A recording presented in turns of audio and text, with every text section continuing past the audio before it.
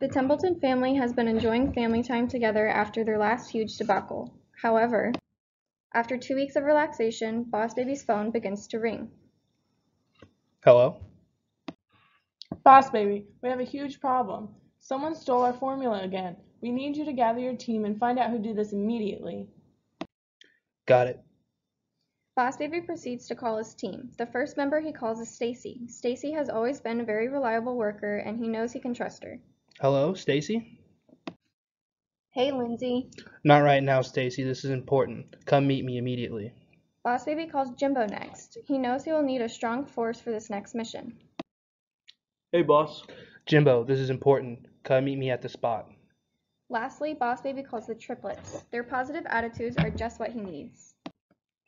Hey, boss. Hey, boss, we're super busy right now. Can't talk. Call you later. That will not do. Drop what you are doing and come to the meeting spot ASAP. Okay, okay, okay.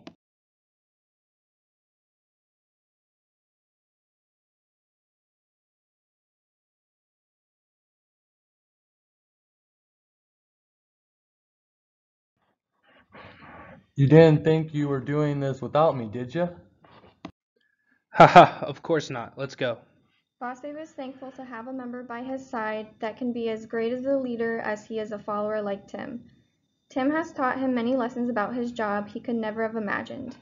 But will it be enough to complete his new mission?